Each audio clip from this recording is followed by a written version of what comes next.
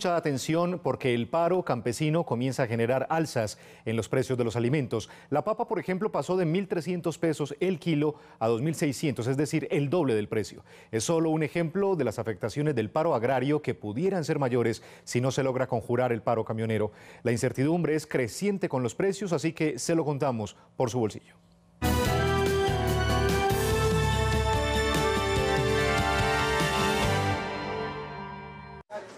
La ciudad no vive sin el campo.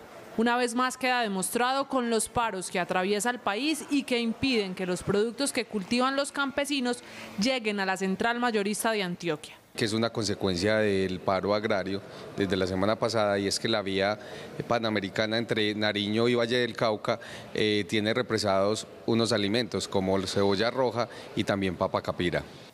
Algunos productos suben debido al desabastecimiento. Que la papa la semana pasada eran papas de 1.900 pesos, en este momento son papas de 2.600 pesos. Eh, sin entrar el paro de transporte. No hay cómo, cómo sostener la demanda de la, de la ciudad y las zonas aledañas. Otros, en cambio, suben porque el bloqueo de vías y el paro de los conductores aumentan el flete o impiden que atraviesen el país para llegar a Medellín.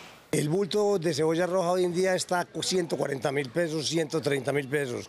Y el precio normal es entre 60 y 80 mil pesos nada más. O sea que está el doble y quizás un poquito más.